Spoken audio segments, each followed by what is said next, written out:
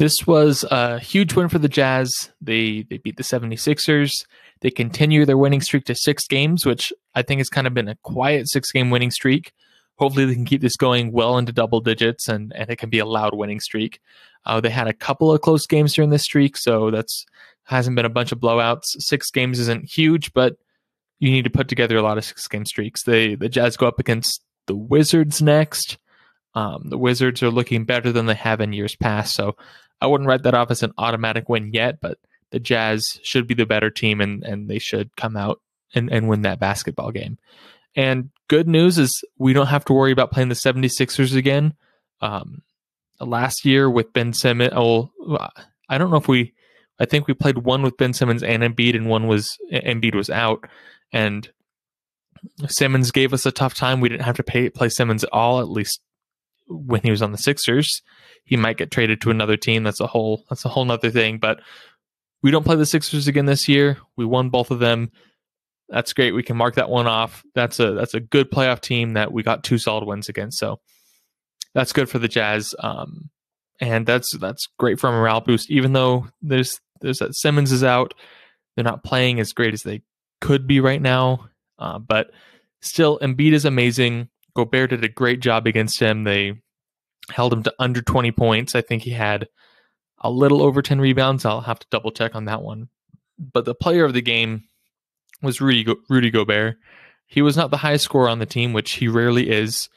Uh, it was a very team game when it comes to scoring. Donovan Mitchell was the highest with 22, I don't think any other player got into the 20s. But speaking of getting into the 20s, Gobert did get into the 20s in another stat, and that is rebounding. He came out with 21 rebounds uh, against a great center in Joel Embiid. Joel Embiid's not like he's not the greatest rebounder in the league, but he's a very good rebounder. Um, and Drummond is a very good rebounder as well. And Whiteside and Gobert. Whiteside had 10 rebounds, I believe. Gobert came out with 21. So I think the the Utah Jazz rebounding game is pretty solid, having those two centers on um getting minutes. So great job for them. I know Gobert started the season with a, some great rebounding numbers. Some people were talking about he just wasn't going up against as good as centers. They came out against another team with two great centers and killed in the rebounding game. The 76ers walked out tonight with 34 rebounds, and the Jazz had 52. The Jazz had 16 offensive rebounds compared to six for the 76ers. So that's like 10 extra possessions that the Jazz got the 76ers didn't get to get because our rebounding game was on point. Um, some of those were multiple offensive rebounds in the same possession, so maybe not quite the same weight, but uh, I know there's one where it was it was Gobert and Yang. Gobert misses the shot, goes for the tip, misses the tip, gets the rebound, and then lays it in from there. So there's two offensive rebounds, one bucket, but they still got the points. And the Jazz came out with it with a what looks like a blowout win. Um, it was the Jazz were losing at the end of the first. Jazz had a great second quarter, and they they fought through and closed. They closed out the game really solid, winning the fourth quarter thirty to twenty, which made it seem more of a blowout win. Um, they won by 24. So uh, if it were, if they tied in the fourth, it would still would have been 14. They they're pretty solid going into the fourth. So great win for the Jazz. I don't like. I think Gobert is worth talking about a ton.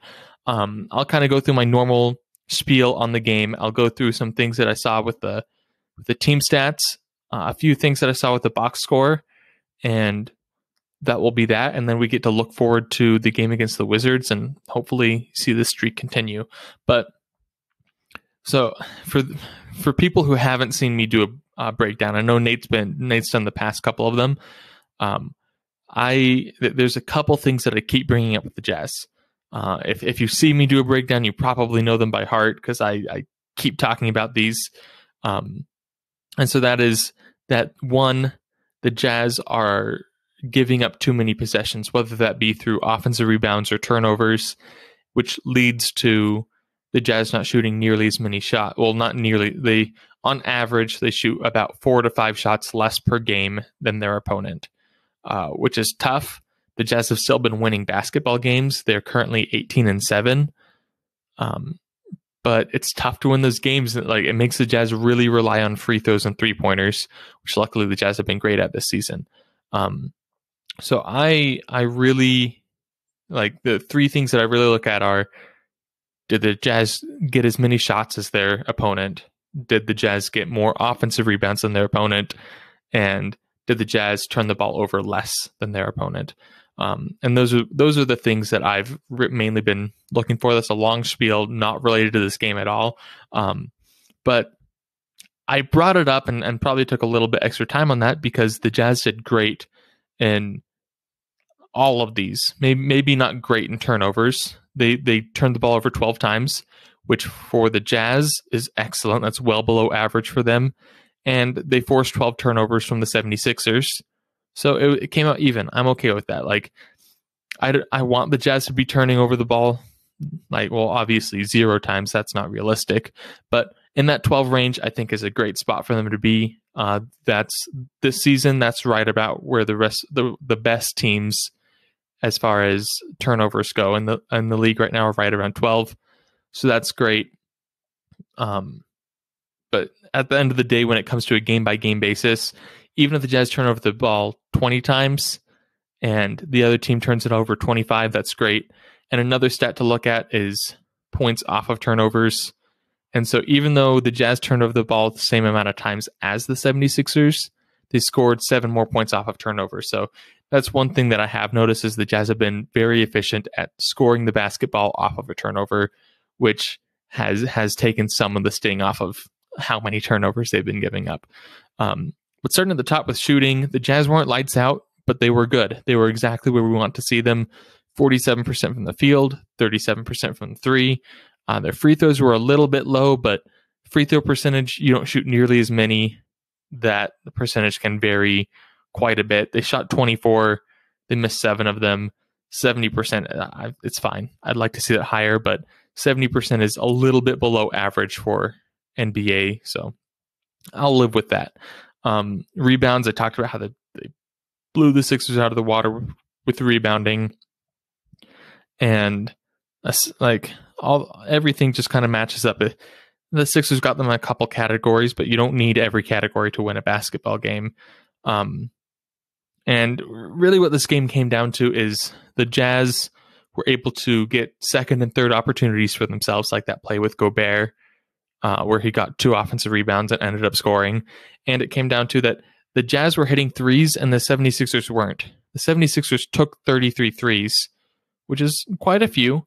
Uh, the Jazz took 40, but the 76ers only made six of those threes. So uh, that was less than 20%. And the math on that's 27 possessions gone because they missed three pointers. So I think that's really what the game came down to. Um, Jazz got a few extra points from free throws.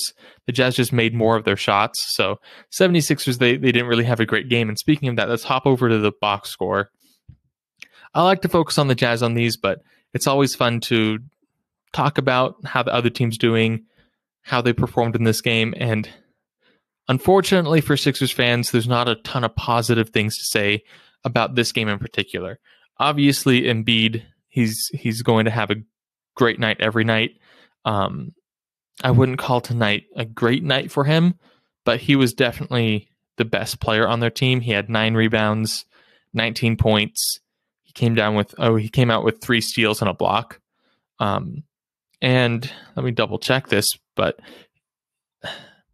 except for one player who played seven minutes, he had the best plus minus on the team. So that's how good of a player Joel Embiid is, even though he's not like he's not going out there and scoring 40 points and having as big of an impact on the game as he could. He's impacting the game in other ways, getting steals, helping the plus minus so that when he was out on the floor, uh, it was a pretty close game. It was really, and, and I don't, that's, that's an interesting stat to look at because it's not all, always the player who impacts that. It's the lineups that he's out there with, and it's also the lineups that the other team puts out there against him. Um, but there were a couple players who had okay games. Uh, Seth Curry kind of did what you expect him to. He had 18 points, um, shot the ball, shot the ball fine, over 50% from the field, uh, 33% from three. Um, I had Tyrese Maxey. Stat wise, he didn't have a great game. I think he did make some good plays.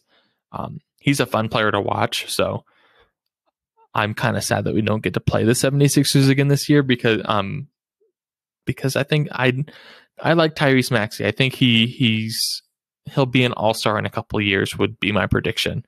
Uh, two to three years, right in that window. Um, but other than that, like no one really stood out. Tobias Harris, seventeen and seven. I feel like that's kind of average for him. That's that's one thing that I I I like Tobias Harris. I've liked him since like before he was an All Star caliber player. He he's never made it to an All Star game, but he's right in that caliber. Um, I've been following his career since he was pretty young, but one as he's gotten better and as he's he's performed as well as he has this season and as he has the past several seasons, the one thing that I I want to see more from him is is I don't see him step up and take over games as often as I would like. Granted, I don't follow the Sixers as closely as I should, so I might be missing a few games. But I feel like he's he's when he's healthy and he he plays his minutes, he's really consistent. He'll get right around 20 points, usually a little less. Um, nearing 10 rebounds in that 7 8 range normally.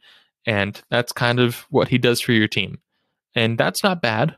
Uh, but I, I feel like there's more that he could do. And I don't, I'm not saying this to like get on his back or anything. I'm just saying this because I, I don't know if it's him being with the 76ers, a system that he's in, uh, mindset thing. I, I don't know what's going on. I know he's, when Ben Simmons was playing, he was the third option to score.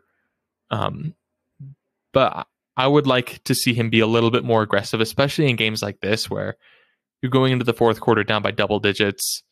Um, Joel Embiid's not being the most aggressive. He's not super efficient. He was eight for 18, which is fine, but he wasn't taking a ton of shots.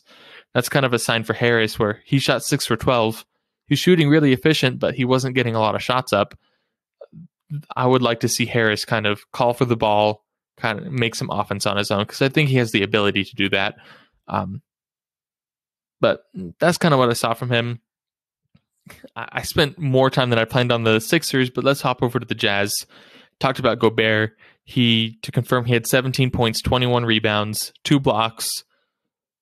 That is about as good as you could ask for him. I think the only thing that would have made this a little bit sweeter is if he scored three more points to have a 2020 game, but it wasn't needed. Um, and in a blowout, he, he didn't even play 30 minutes. He played 29 minutes in a blowout. I would much rather rest than than ha- have him rest a few extra minutes then then go for the 2020. So he was right there. He could have had it. Um, I mentioned Donovan Mitchell had 22 points. His efficiency was fine from the field. Three points were great. He was five for 10. Um, but really, what I want to point out, and like this was a really spread out scoring game for the Jazz. We had, uh, let me count it up, uh, eight players in double digit scoring, which is awesome. And a lot of that came off the bench. We had um, uh, quick math 46, 48 bench points. Um, most of those were from four players. Uh, we had Ingles, Clarkson, Whiteside, and Gay all over 10 or all 10 points or higher. Um, Gay is another one of those players that I think is obviously he's not the same caliber player as Tobias Harris, but he he comes in off the bench, five, six rebounds, 10, 12 points, really similar play style, just not the same caliber. Um, and I think Gay has the ability where if we need him to, he can come in and and step up and score and and take over a portion of a basketball game. Uh, I don't want to see him do it all the time, but I would like to see Rudy Gay be aggressive when he needs to. Um, I haven't seen much aggression from him. Uh, but that's okay. He's he's four. For, he was four for five from the field. The only shot he missed was a wide open three, which some that happens sometimes. I'm not gonna blame him. Whiteside was great with 14 and 10. So right now I'm just kind of reading off the box score. You guys can look at that. Um, but great team game. The those four main guys off the bench came to play. Uh, they all had great games, and they were able to spread. Like no one on the Jazz played more than 30 minutes which is awesome because this is the back end of a back to back. They still played Mike Conley, which is kind of rare on the back end of a back to back. We won both games, which is huge, and we were able to win in a blowout without playing a single player over 30 minutes. So, like, 30 minutes may sound like a lot, but like if you think about it, if you play 30 minutes, you're resting for a quarter and a half of a basketball game.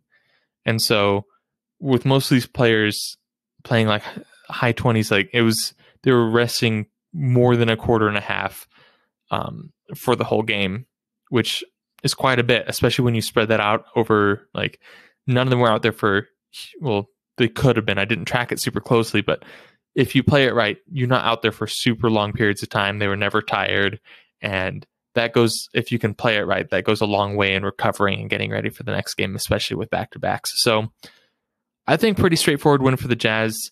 I'm kind of long winded, so pr- this probably could have been five minutes, and I'm turning it into 15 minutes, but great win. We have a winning streak going. Let's keep it going. I'm excited to follow that. Um, and I guess one takeaway at the end of the video, the biggest takeaway that I took from this game is that the Jazz, as much as I'd like to see Mitchell come out and score 30 points every night, the Jazz are such a well built team that we can have eight guys come out and score 10 plus points. So on any given night, someone's having an off night, we know we have seven other guys who can who can go out there and make stuff happen. So that's scary come playoff time. Um, I know it's a blowout. Everything's going to look better, but we've showed that we have that ability against the 76ers, who are 14 and 12. Not a great start, but expect them to have a decent seed in the playoffs uh, come playoff time. So thanks for joining me. Make sure to follow the channel wherever you're at, like the video. Uh, you're not going to want to miss the, like, especially when we're, we're on a winning streak. The longer this goes, the more fun it is. So show support for the Jazz. Do whatever you can to help them win. And come here and, and party with us whenever we keep the winning streak going. So thanks for joining me and go Jazz.